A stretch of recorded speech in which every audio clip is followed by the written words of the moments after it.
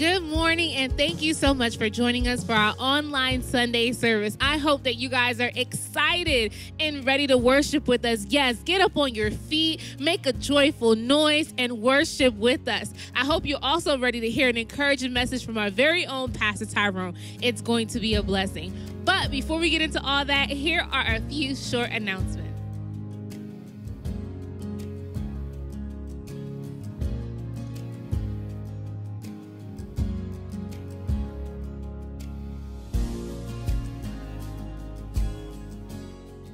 All those that are asking, what are some ways that I can give during this time? Well, guess what? There are five ways to give in person, online. Just visit www.tcc-nj.org backslash give. Click Give Online, and once directed to PayPal, please follow the prompts. Also, on our Venmo app, just search at TCC-NJ. You can also text to give. Text the amount you would like to give to 855 935 4094 to get started, or by mail.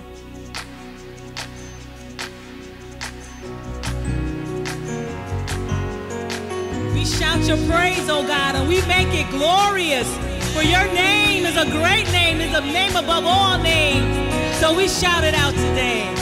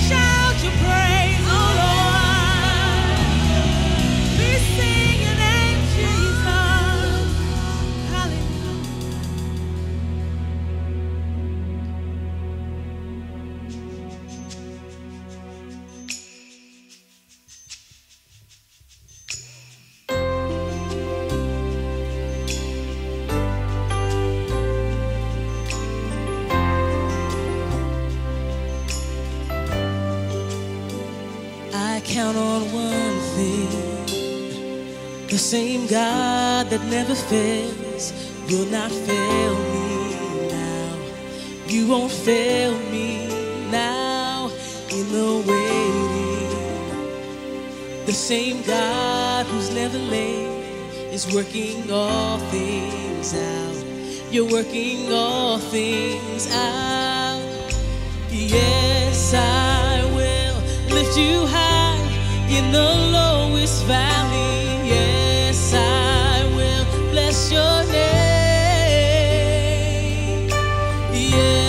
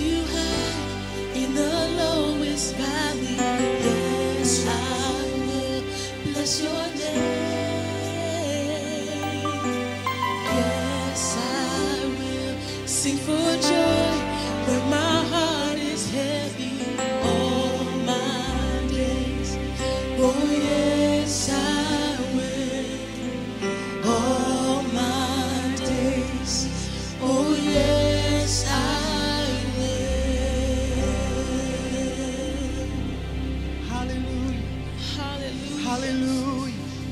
Hallelujah. Hallelujah. All the We praise belongs to you. Jesus. We choose to praise you, God. Hallelujah. Hallelujah. Thank you, God. Hallelujah. Hallelujah. Hallelujah. We'll bless your name. We'll bless your name. Hallelujah. Jesus, you deserve the praise. We choose to praise. We choose to sing. Hallelujah. Hallelujah.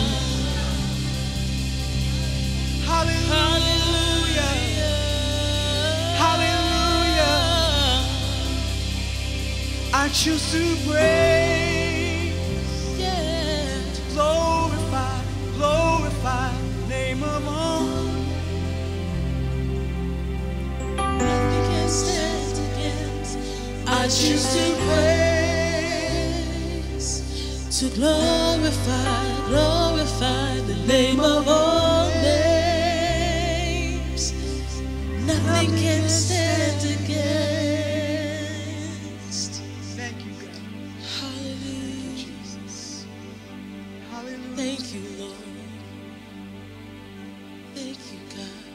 great grace, God. Your great grace, powerful grace, powerful grace. Thank you, God.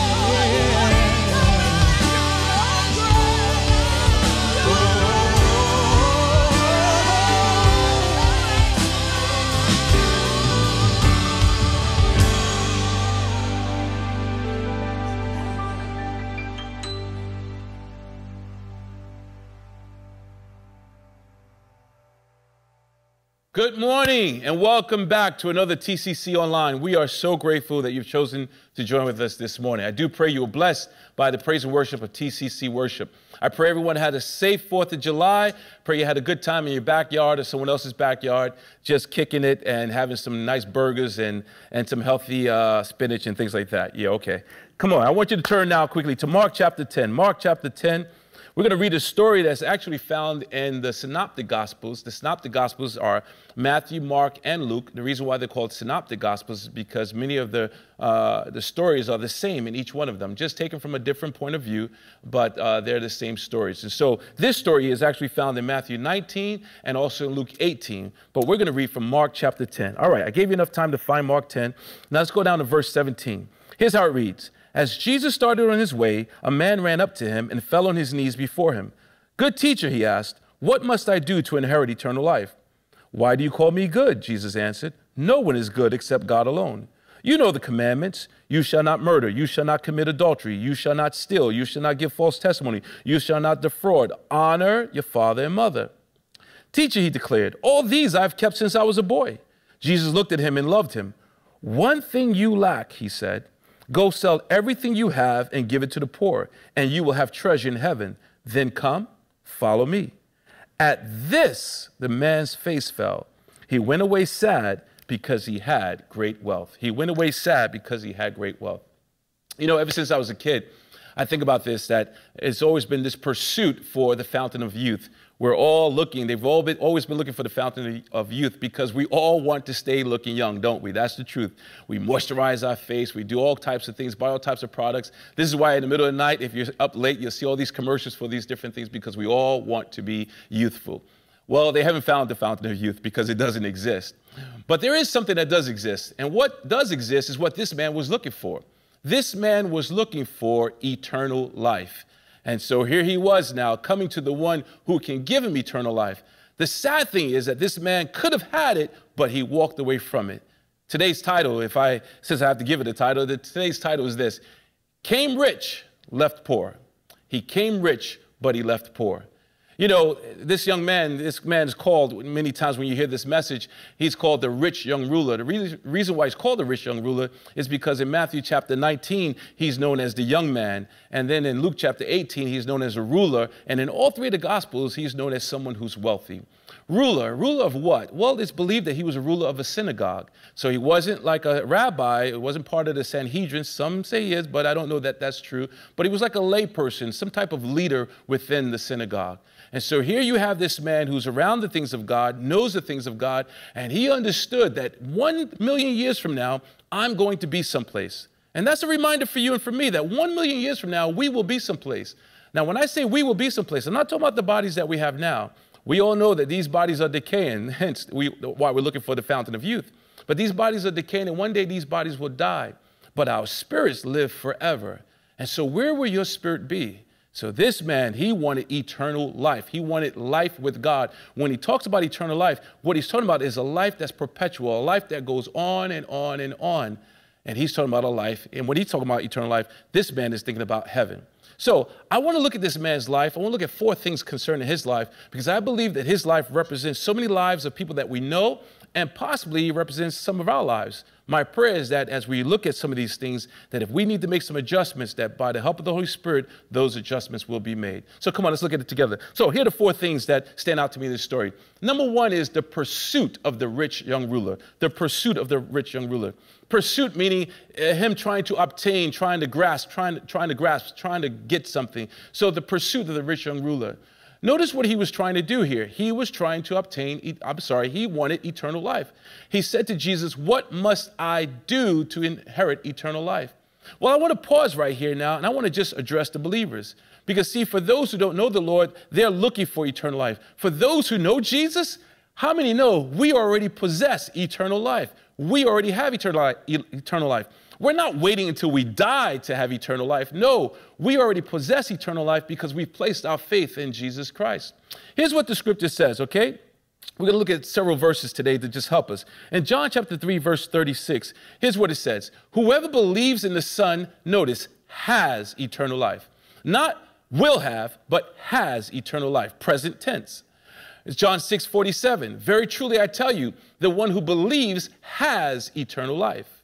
And John 11, you know, this famous passage of scripture dealing with um, uh, Lazarus, who's in the tomb, his two sisters, Mary and Martha, approached Jesus and said, If you had been here, my brother would not have died. Well, Jesus responds by saying this Jesus said to her, I am the resurrection and the life. The one who believes in me will live even though they die, physically speaking. And whoever lives by believing in me, notice, will never die. Well, what is he saying there? He's saying that while we're here in this body, guess what? We're living for him now. We will never die. But he's not talking about a physical death. He's talking about spiritually speaking, that we will live forever. We will be with him.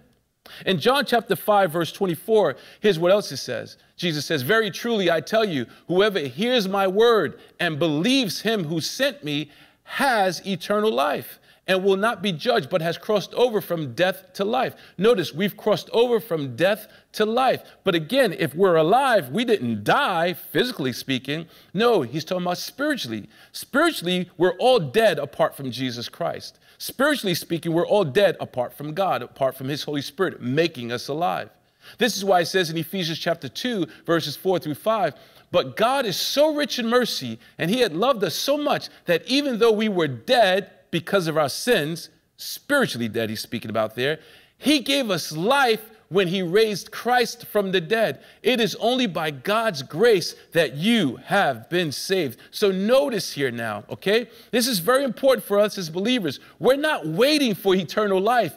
We already have eternal life. The life that we have in Christ, we have with him now while in this present age, on this while we're alive on this side of eternity, and for all eternity, we will be with him. We have the life, eternal life, because of our faith placed in Jesus Christ. And if that doesn't make you shout glory, I don't know what will, but that should encourage you today. And that life is also part of what Jesus says that I've come that you might have life. Remember now, I've been saying this for the last few weeks. Jesus said, I've come that you might have life and have it more abundantly. Or in the New Living Translation, I've come that you might have a satisfying life. See, the life that He gives, the eternal life that He gives us, is a satisfying life here on earth. And when we die, we'll be with Him for all eternity. Not these bodies, but our spirits will be with him for all eternity. So this man was in pursuit of eternal life. The problem is he was going about it the wrong way. What do I mean? Well, let's deal with number two. Number two is the pride of the rich young ruler. The pride of rich young ruler. Notice his question What must I do to inherit eternal life? What must I do? Not how can I obtain, no, it's like about works. Like there's got to be something I must do in order to receive this eternal life. There's got to be something that I'm, I can make it happen. See, that's his pride. His pride is I will make it happen. I imagine he amassed his fortune by, you know, doing what he needed to do, and maybe that's his mindset. I've amassed this fortune, I've become a leader, I've done it myself, so now I'll do this myself. I'll become uh, someone who has eternal life myself. Just tell me, what must I do, Jesus? And Jesus told him simply this you know what to do keep the commandments. Keep the commandments. And what were the commandments that Jesus told him? Because the man said in Matthew 19, 18, the man said, Well, which ones? Jesus said, Keep the commandments. And the man said, Well, which ones do you want me to keep? And Jesus told him, hey, don't commit murder, don't commit adultery, don't steal, don't lie, hey, don't covet, which means don't lust, right? These are part of the Ten Commandments. These are six of them. And honor your father and your mother. And notice what the, notice what the boy said in Mark chapter 10. Notice what he says here. Teacher, he declared, all these I have kept since I was a boy.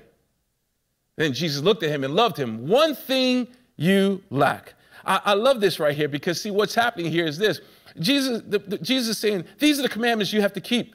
And the, the boy is like, yeah, psh, I didn't commit adultery. No, I didn't murder anybody. No, I didn't steal. No, I didn't lie. No, I didn't covet. Yeah, I honor my mother and father. What you got, Jesus? What's, what's next? In other words, it's like a boast. And Notice his pride. I've kept all these. Since I was a kid, I've been doing all of these. But Jesus just hit him with the whammy. Jesus burst his bubble and said, yeah, let me tell you something. There's one thing you lack. There's something that you're not doing. See, what Jesus was saying to him is, look, you have fallen short of God's glory. You, you may think that you're good. You may think that you're doing what is right. And, but let me just tell you something. You're still falling short of the glory of God. Here's what it says in John chapter 2, I'm sorry, James chapter 2, verse 10. Because this is important for someone that maybe you're you're like this rich young ruler, and you know what? You have pride, and you think, hey, I, I can earn my way into heaven. I can earn my way into eternal life. You know, all I got to do is, man, stop. Ladies, stop. Because let's take a note from this, this rich young ruler here. Jesus burst his bubble and said, No, you lack something though. James chapter 2, verse 10, here's what it says For the person who keeps all the laws except one is as guilty as a person who has broken all of God's laws. So notice, if you break one law, then you're guilty as, as if you've broken all the laws. See, that's very important for us to understand here today. Because some people will say, well, I've never done this and I've never done that. And they kind of boast about their good works. But you got to remember what the scripture teaches us that there is none righteous, no, not one. There's no one who's so perfect that they earn their way into heaven. Nobody can stand before God and say, look what I've done. Because when you do that, you know what the scripture says? That God looks at our righteousness, right? Meaning our works, our quote unquote good deeds apart from Him. He looks at them as if they're filthy rags. Now, I don't mean to be, you know, gross gross about this, but let's just give it what, what it means here. Where it says filthy rags, it's talking about a woman's menstrual cloth, okay? That's what it says. He's saying, Your righteousness, that's what it is to me. It's like a menstrual cloth. That's what he's saying. Your righteousness are like filthy rags. That's what the scripture teaches us. So no one can boast and stand before God and say, you know what, I should get in because. Because nothing, there's nothing you do or I've done that could ever make earn us and uh, earn us a ticket into heaven. No, that's not how it works, brothers and sisters. That's why the scripture is very clear that you know what we're in there. We get to heaven by grace and grace alone. Ephesians chapter two, verse eight through nine. For it is by grace you have been saved through faith, and this is not from yourselves. It is a it is the gift of God, not by works, so that no one can boast. Notice, no one can boast. No one who gets into heaven can say, "I earned my way into heaven." No, we're all there, but by the grace of God. As uh, the worship team finished singing, grace, wonderful grace, powerful grace. It's unmerited favor that he's given to you and given to me. Okay? And this man, what he missed out on was the fact that he was standing before the one who could give him eternal life. One thing you lack, the man, is what Jesus said to him. Jesus in John 17, 3, in his priestly prayer, Jesus said this now, this is eternal life. Remember that life that we talked about, that perpetual life, that life with God. This is eternal life, that they know you, meaning God the Father, they know you, the only true God, and Jesus Christ, whom you have sent. See, the man missed it because if he wanted eternal life, eternal life was right before him. Knowing Jesus is what brings about eternal life for you and eternal life for me. So now listen. So after keeping the six laws, you know, where, where did he fall short? Because Jesus said, one thing you lack. So we know he kept six of the laws, but where did the man fall short? Well, that leads us into number three, and that is the possessions of the rich young ruler. The possessions of the rich young ruler. All right, so Mark chapter 10, uh, look at verses 21 through 22. Notice, he said, Jesus said to him, Go, sell everything you have and give it to the poor, and you will have treasure in heaven. Then come, Follow me. At this, the man's face fell. He went away sad, notice, because he had great wealth. Why? Because he had great wealth. So here's where he fall. This is where he fell short. So he dealt with we dealt with the six laws, right? About honor your father and mother, uh, don't steal, don't commit adultery, so on and so forth. But see, those six deal with our relationship with other people. Remember that Jesus said this: the commandments all hinge on these two things: Love the Lord your God with all your heart, mind, soul, and strength, and love your neighbor as yourself. So the six that Jesus dealt with were the ones that deals in relation to people. And the young man could say, Hey, I've kept those. I've not done any of those things. But now Jesus again hit him with the whammy. Because see, what Jesus did here is said, Listen, come follow me. Sell everything, give it to the poor, come follow me. And at this, the young man went away sad. At this, the young man went away sad. So, what, what was the deal with that? It's because of this. Remember, the other four have no other gods, right? Don't use the Lord name, Lord's name in vain. Don't make any idols. All right, and then also keep the Sabbath holy. So we don't even have to get to the other two because just the first two alone have no other gods before me and no idols. Well, guess what? That young man, that rich young ruler, could not release what? His wealth. And so, therefore, his wealth took the place of God. Small g became small g, but it took the place of the big G in his life. See, he was unwilling to let go of the idol of wealth, the idol of possessions. And those possessions is not just money. Possessions could be anything. It could be a relationship. It could be a career. It could be, you know, a house. It could be whatever. Whatever the Lord is asking of you that you're unwilling to release is an idol, and you've made that a God. And at that point, is where he, he fell sh- short of the glory of God. And it's at that point where he made himself, he's no longer righteous. See, Jesus hit him with the whammy by saying, One thing you lack. And the one thing was this his treasure was not with the Lord, his treasure was in his possessions. 1 Timothy chapter 6, verse 10. Here's what it says For the love of money is the root of all kinds of evil. So I wanted to read that because I want to make sure I'm clear to say it's not money that's evil. It's not having possessions that's evil. It's when the possessions have you. See, he had many possessions, but it wasn't so much that he had possessions, it was that his possessions had him. It's not, it's like in a relationship. It's not so much that you have a relationship, it's that the relationship has you. It's not so much that you have a job, it's that your job, your career has you, has you to the point where you're unwilling to release to the Lord what it is He's really after. And what is it that he's really after? Well, let me finish reading 1 Timothy 6:10. For the love of money is the root of all kinds of evil. And notice, and some people craving money have wandered from the true faith and pierced themselves with many sorrows. So sorrow come because of people chasing after the wind, as it says in Ecclesiastes. But Matthew 6:21 is really what Jesus was after here. Wherever your treasure is, there the desires of your heart will be also. Okay? Let me read it one more time. Matthew 6 21. Wherever your treasure is, there the desires of your heart will also be. So you see, for this man, his treasure was not with the Lord. Even though he wanted eternal life, he wanted heaven, he wanted to be with God, that's not where his treasure was. His treasure was in his possessions because where your treasures are, that speaks about the value. What you value will get your attention. See, and what he valued was his possessions more than he valued God himself. Isn't that something around the things of God? In the lead of the synagogue, most likely. But even that, his possessions, his position, you know, his lifestyle, he was unwilling to relinquish. Why? Because his treasure wasn't with God. That's not where his heart was. His heart was in the accolades that came to him, probably. Like, yeah, there he is. He's rich, he's young, he's handsome. All the women probably want him, all the men wanted to be like him. And he was unwilling to let go of his lifestyle for what it is he was really looking for, which was eternal life. So it's a very sad commentary when you think about it. Well, the bottom line is that Jesus was after his heart. And as I'm speaking right now, there may be people listening to me, and you you already put yourself in the place of that rich young ruler. You know what? He's not after your house. Jesus doesn't want you poor. Jesus doesn't want you suffering. That's not what he's after. The reason why he's asking for something is because he's after your heart. He wants to know does your heart belong to me or does it not belong to me? Because if it belongs to me, then you'll give to me all that I'm asking you for. Now, let me get right to number four, because this is really what I want to just park for a moment here, okay?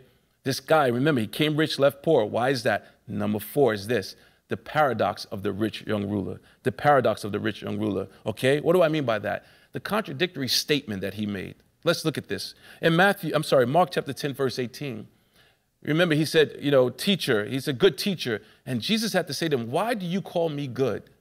Jesus answered, No one is good except God alone. Why do you call me good? See, why do I call it the paradox of the rich young ruler? Why do I call it a contradictory statement? Because remember what he said. I want to make sure I just read this here, where he said, Good teacher. Good teacher. You know what he's saying there?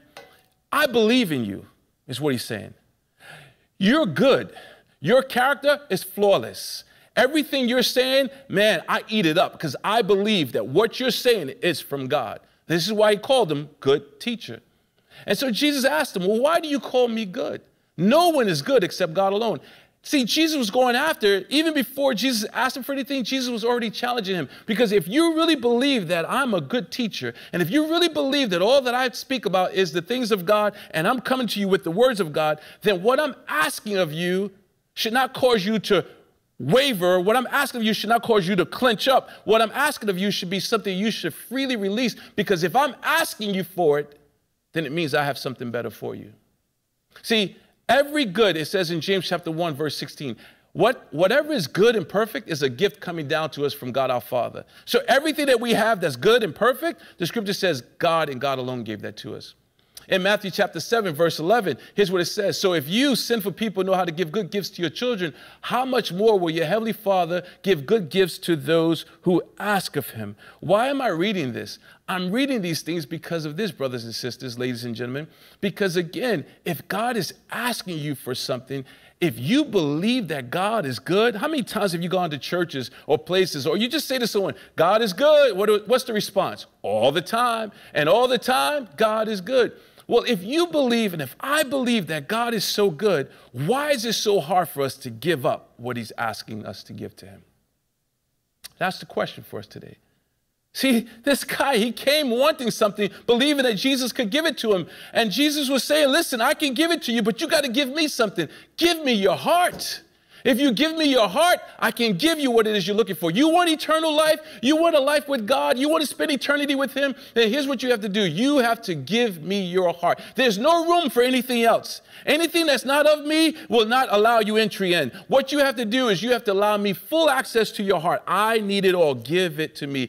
Go sell what you have, give it to the poor, and then notice it's not about selling and giving. Here was the part come and follow me. I wonder if the man thought to himself, wait a minute, hold up. This is the same Jesus who said, you know, birds have nests and, and, and, and others have, you know, places to lay their head, but I have no place. The Son of Man has no place to lay his head. I, I wonder if that's what he was thinking about, that the Son of Man has no place to lay his head. Like Jesus doesn't have money. See, I'm used to sleeping in a nice bed. I'm used to getting nice drinks. I'm used to getting a nice meal. What Jesus is doing, he's traveling from place to place, and he really doesn't have any place to lay his head. I don't know if I'm signing up for that. See, and as a result of that, the young man, the scripture says, when he heard Jesus said, Come and follow me, he bowed his head and he walked away. Think about this for a second. When he first saw Jesus, he came excited. He came running. He knelt down. Oh, good teacher, what must I do to inherit eternal life? Jesus begins to explain to him what he needs to do. But when it didn't match up with what he thought it should be, he walked away. And he ended up losing out on everything that God possibly had for him. See, the problem was he walked away too soon. He came rich, but he left poor. You say, what do you mean, Tyrone? He left poor. Oh, yeah, he left poor. He, he left without the thing he came looking for, which was eternal life. But remember what we talked about on the front end of this message. Eternal life is not when I die and get to heaven. No, eternal life begins the moment I say yes to Jesus. And the moment I say yes to Jesus, now guess what happens? Yes, it rains on the just and the unjust. So that's the common grace that's given to any and everyone. But I'm talking about that special grace, that's grace that's given to his people. Oh, now I've stepped into a new realm the moment I say yes to him because he becomes my shepherd and I becomes his sheep. And what happens is his, his job, his responsibility to protect me, to provide for me, to give me an abundance. Oh, yes, that's what he would do for me. When I say abundance, I'm not talking about houses and land. I'm talking about an abundance of joy. I'm talking about an abundance of peace. And all of that comes when I surrender to him what it is he's asking for. So, what relationship is he asking of you today? What, what career change is he asking of you today? Because maybe he understands that this career you're in is causing you to drift away from him, which is what we read in 1 Timothy chapter 6. Chasing after those papers is causing you to be away from him. Relationships, groups, whatever it may be. Come on, you fill in the blanks. You know what it is that he's dealing with you about. But today he's saying, hey, come and follow me. Not come to church. Coming to church is not following me. Follow me, meaning my word, obey my word, hear my voice, and go where I tell you to go and do what it is I tell you to do. See, that young man left too soon because if he had just stuck around, he would have heard this. He would have heard the rest of what Jesus had to say. Because when the disciples heard this, they were like, hold up, wait a minute. Jesus talking about, you know, it's hard for a rich man to enter into the kingdom of heaven. If you keep reading down the passage, it's like a camel have to go through the eye of a needle, using a hyperbole to hyperbole to, to illustrate uh, how difficult it is for someone who, who's holding on to possessions or holding on to people, how hard it is for them to get into the kingdom. Well, the disciples were like, wait a minute, then who can be saved? Because I imagine they're thinking, wait, we left businesses. Because remember, they had helpers. So they left businesses. They left it all. Some were tax collectors. And so they left a lucrative business to follow Jesus. So they're probably thinking, then who can be saved? And Jesus will go on to say this to them. And this is why the man left too soon. Here's what it says in verses 20, uh, verse 27. Jesus said, Jesus looked at them and said, With human beings, this is impossible, but not with God. With God, all things are possible. And then Peter spoke up and said, We left everything to follow you. And here's what Jesus said Truly I tell you, this is verse 29. No one who has left home or brothers or sisters or mother or father or children or fields for me and the gospel will fail to receive a hundred times as much in this present age homes, brothers, sisters, mothers, children, and fields, and don't miss this, along with persecutions, and in the age to come, eternal life. See, what that man didn't realize is that if he had just released to Jesus what Jesus was asking for, Jesus would have given him above and beyond all he can think or even imagine. Now, I want to make sure I'm clear here. It doesn't mean like if you give Jesus $100, you're going to get back a million dollars. When you're talking about a hundredfold or whatever, $1,000. No, that's not what he's saying. But what he's saying is this I will give you everything you need in abundance. In abundance. And the thing that this young man was wrestling with was he was wrestling with the lack of peace in his soul because he realized while I have all of these different things, what I don't have is assurance of eternal life. And eternal life was right in front of him. Jesus was right there. And all he had to do was submit and he would have received what it is he came running for. But instead, he came rich, had all the bling, but he left poor because he left empty. I don't know what happened with that young man. I pray at some point he said yes to Jesus. I pray at some point he gave his heart to Jesus. There's speculations about who this young man could be. I won't get into that. But the bottom line is that at that moment, he walked away poor. Because how many of us know when you have Jesus, you have everything? And see, and that's the question today. Is he enough? Is Jesus enough? And I want to say to you today, yes, he's more than enough. Because if you have him, you have all of heaven's resources also available to you. So today, don't forget now, yes, houses, lands, brothers and sisters. In other words, you're, you're in a family, but along with persecutions. Now, what I want to say about persecutions is this don't, don't trip over persecutions. Persecutions, that's good for us because, like I said last week, it builds up our faith. We need some trials, we need the testing of our faith. It builds us up, it helps us to mature. But remember, in it, while we're going through it, He's there with us, He doesn't leave us alone. So today, Come on, let's look at this life of this rich young ruler, and I want you to challenge your own life now today. Okay? So, what, what is your pursuit? Is there pride in the way? Do possessions have you? Are you contradicting yourself by saying God is good, but not trusting Him when He's asking you to give to Him what it is that He's asking you to release to Him? Because remember, what you give to Him, He gives back to you in abundance. How many say amen to that? So, come on, let's pray together. Father God, I thank you for this story of this rich young ruler. I pray that when we all get to heaven, we'll see him there. I pray everything that he was pursuing that he would have received, and that is that he's walking on streets of gold and he's there in the presence of the Savior. There's so many lessons to learn from this, this young man, but today, Lord, for our purposes, Lord, we're reminded as believers that eternal life is found in you. And because we've said yes to you, we're not waiting for eternal life. We already have eternal life. What he was pursuing, we already have. And we're going to rest in that today. That you're going to give us the satisfying life that we desire, Lord, the satisfying life that you desire for us, I should say. And that God, we're going to be with you all for all eternity. It doesn't, we don't start being with you when we die. We're already with you. You're already with us. God, we pray, Lord, if there's an element of pride within us, Lord, that we feel like we have to do something to earn grace with you, Lord, then Lord, deal with this like you dealt with this man. Show us for show us for, for who we are, Lord. Like you used the law as a mirror to show him that he could not attain everything that the law required. The Lord showed him that he was helpless. The Lord showed him that sin's penalty was still waiting for him. Lord, do that for us, Lord. Remind us that it's by grace and grace alone that we're saved, so that we will always draw back to you and rest in you. And God, I pray, Lord, that we won't hold on to things that you're saying let go of, whatever those possessions are. And most importantly, Lord, let us not contradict ourselves. When we say you're good, help us to trust you with everything you're asking of us. So we submit our hearts to you afresh, because that's what you're always after. We submit our hearts to you afresh today. And it's in Jesus' name that we pray. Amen. God bless you. I pray you have a wonderful Sunday. Look forward to seeing you next Sunday. God bless. I hope you guys were blessed by the worship and challenged by the word of God. I'm just going to ask that you guys like, comment, and share this message with someone that you love. Also, let us know that you're watching. Don't forget to subscribe to our YouTube channel to be updated on all things TCC. Have a wonderful week and see you next Sunday.